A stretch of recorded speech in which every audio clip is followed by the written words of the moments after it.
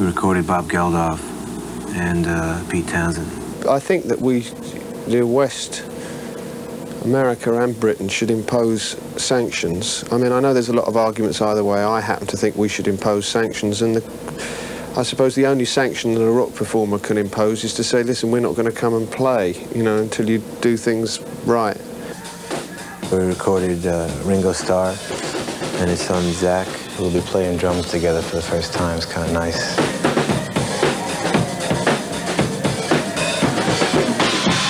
Ringo had been following the issue ever since they asked the Beatles to play South Africa uh, 20 years ago. The thing to realize is this record is not my record, you know. It started out that way, but it has now become everybody's record.